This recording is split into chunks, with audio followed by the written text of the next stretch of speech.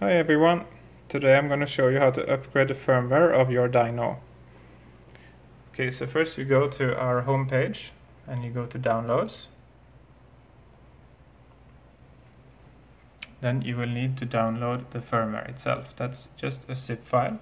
It pops up down here and you see it's called YourDyno and then there is a version.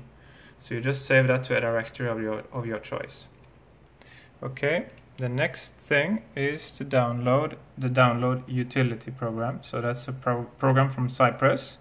When you have downloaded that and installed it, it's going to appear under Cypress. That's down here. It's called PSoC Pro Programmer. You can start it up and it looks uh, like this. You open the file that you just downloaded, the hex file go to the directory where you saved it and you open it and the program is ready. So now you need to go back to your box, you take the lid off, just these four screws here. And then you need to take a mini USB, just a standard USB cable like this, and you connect it to the port down here. So be careful with the cables and all that, but uh, it's pretty straightforward.